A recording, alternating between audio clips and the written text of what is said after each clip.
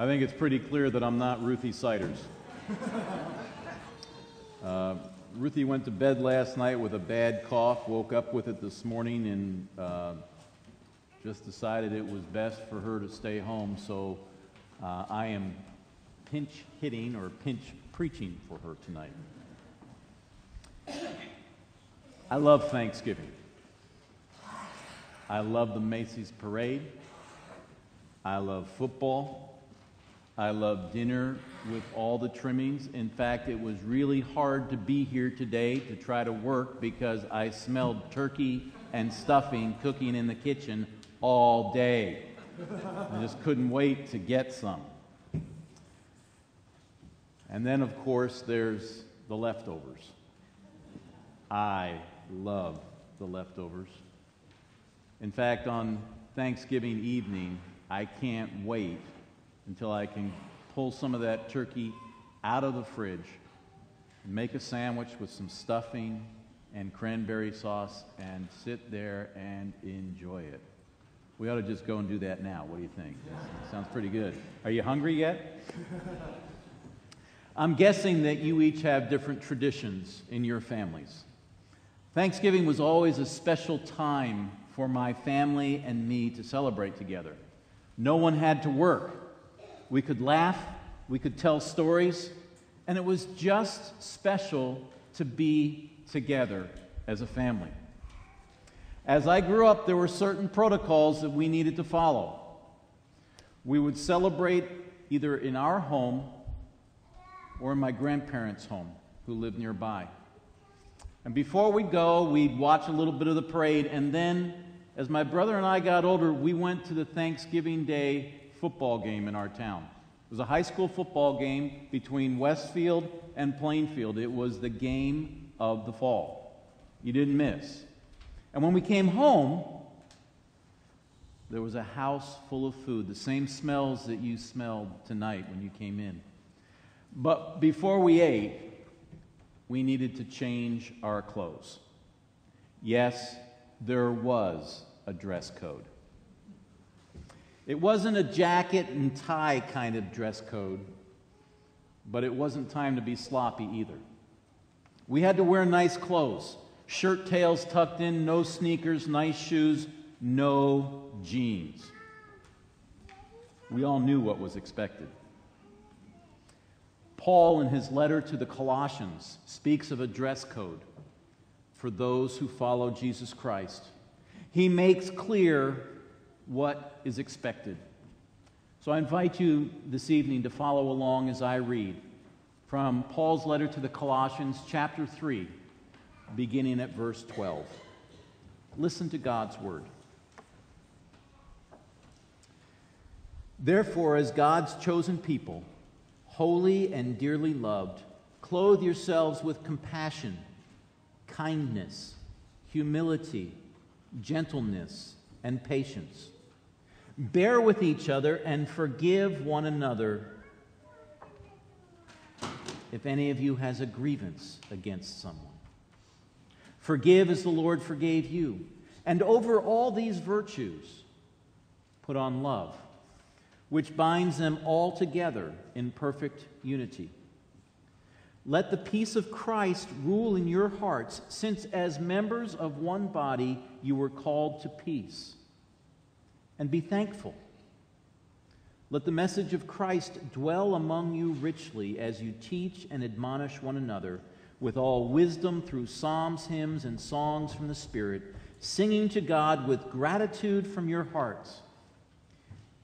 And whatever you do, whether in word or deed, do it all in the name of the Lord Jesus, giving thanks to God the Father through him.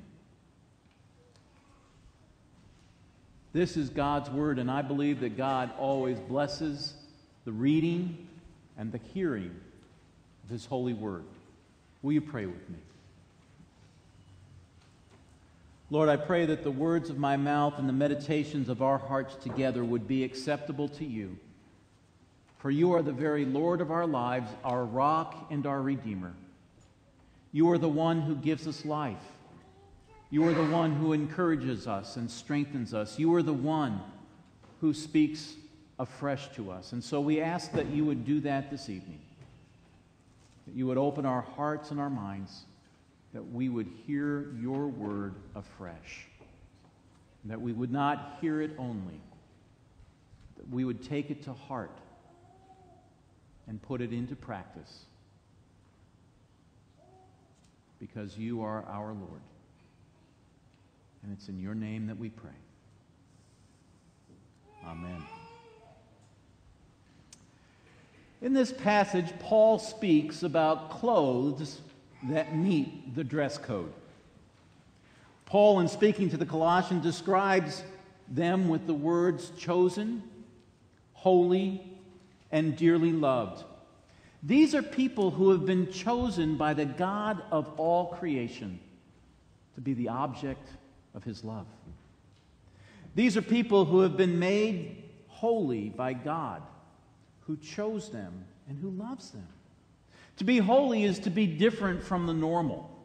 To be holy means to be set apart, not something that the Colossians could do on their own power, but being set apart was the work that God did on their behalf, making them holy. Not only does God see them as chosen, holy, and loved, He sees us as people who have responded to His love in Christ the same way. As people who are chosen, holy, and beloved, we are called to clothe ourselves with clothes that fit who we are, clothes that fit the dress code.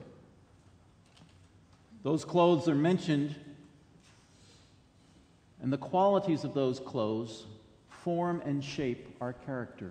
Look at the words that Paul uses compassion, a quality that has to do with showing passion in our care for others, even mercy.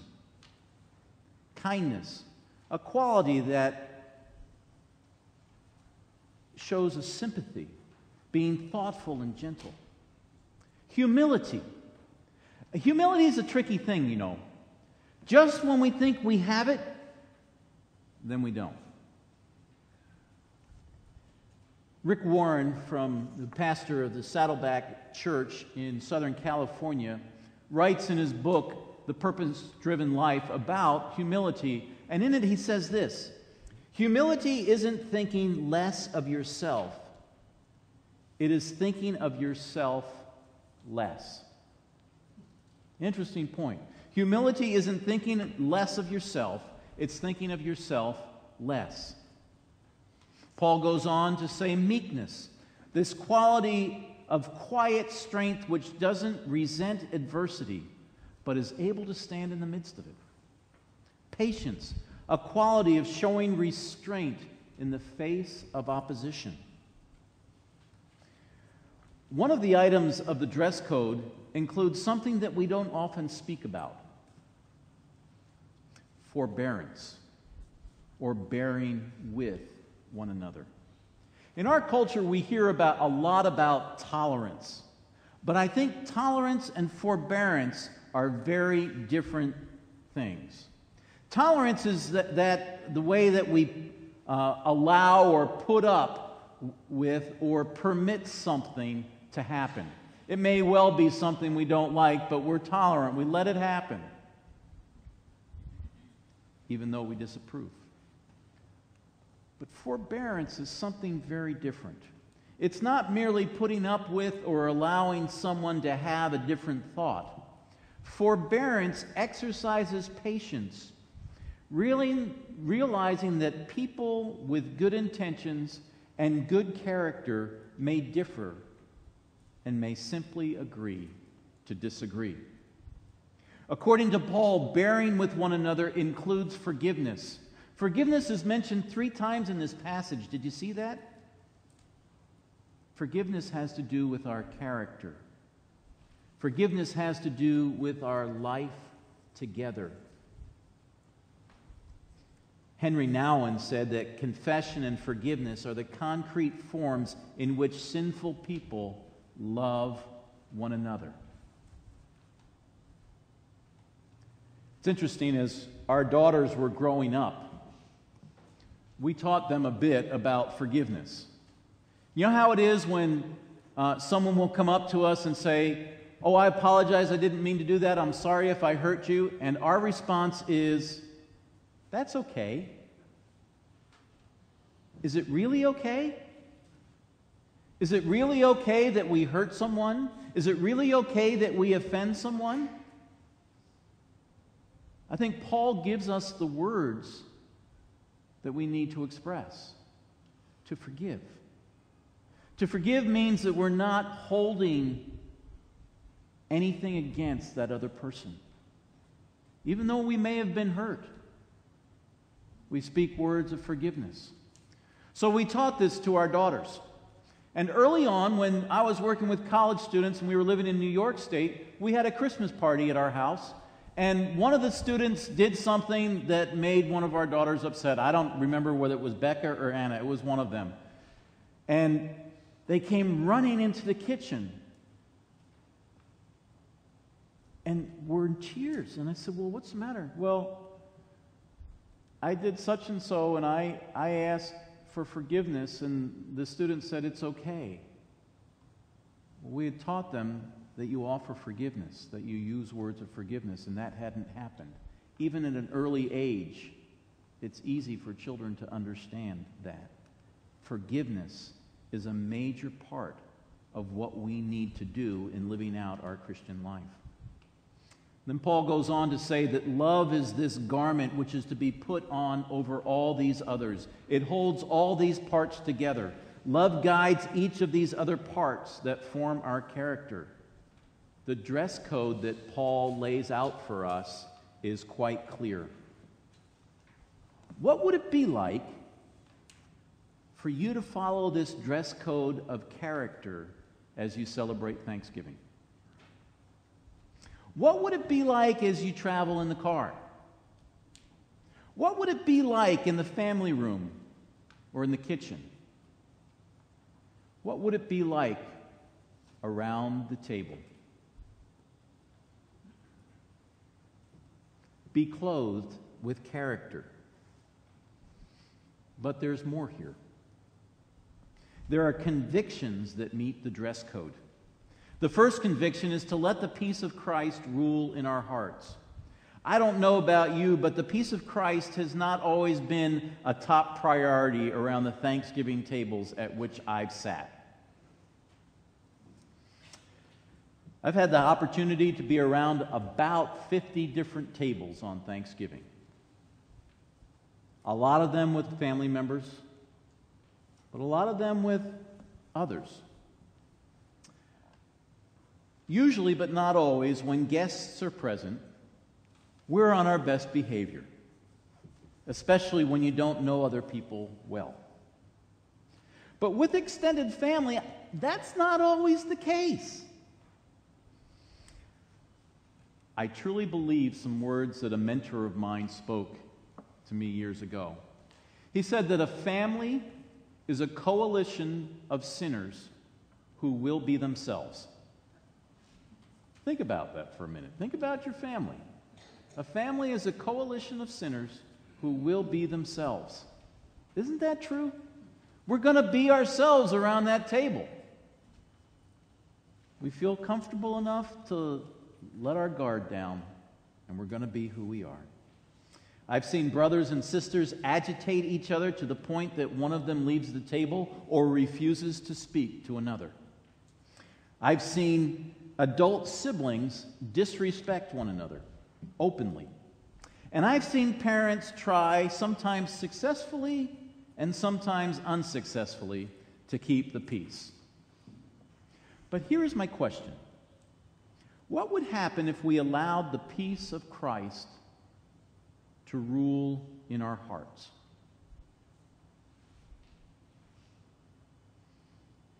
The first conviction is to allow the peace of Christ to rule in our hearts. The second is like the first, to let the word of Christ dwell in us richly. Eugene Peterson in the message translates it this way Let the gospel have the run of the house. What a great opportunity. What a great picture of allowing the gospel to have its way in us, to mold us and shape us to be the people that God would desire us to be. You see, I'm convinced that the Word of God can and will do the work of God in our lives. But we've got to open the Word of God and read it and be willing to submit ourselves to it. I'm convinced that God's Word can mold us, shape us, form us, reform us, and transform us. That's what I understand Paul to mean by these words. So, what would it look like for you to follow this dress code of convictions as you celebrate Thanksgiving? What would it be like as you travel in the car? What would it be like as you gather in the family room or in the kitchen? What would it be like as you gather around the table? I encourage you to be clothed with character and conviction. This dress code that Paul speaks of is all inclusive. In verse 17, Paul sums up his philosophy or the dress code for Christian living. For he says, Whatever you do in word or in deed, do it all in the name of the Lord Jesus, giving thanks to God the Father through him. If we cannot do something in the name of the Lord Jesus and give thanks to the Father through him, then we probably shouldn't be engaging in those words or actions. These are hard words, but they're good words against which to measure our lives. Living by this all inclusive dress code is not easy, but it is possible. It is made possible by God through the person of Jesus Christ and in the power of the Holy Spirit. It's not something we can do on our own, but God is able to work in us and through us. And for that, we can be grateful and we can be thankful. And so, what would it look like for us to follow this all inclusive dress code this Thanksgiving? It's not about wearing jackets and ties or dresses. It's not about not wearing jeans or necessarily tucking in our shirts. It's about being molded and shaped by the God who loves us, the God who loved us enough to send his Son to die for us and to rise again that we might have new life. So be clothed with character and conviction for the sake of thanksgiving. What dress code will you follow this Thanksgiving? No matter where it may be, no matter who you might be with, be clothed with character, be clothed with conviction, all for the thank- sake of thanksgiving to Almighty God. May it be so. Amen.